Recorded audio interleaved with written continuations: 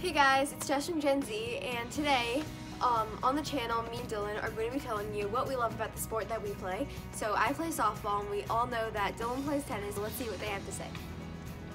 Hey guys, it's Dylan, and I enjoy tennis because it really forced me to get out there and practice hard every day. And when I win, I know I've really earned it.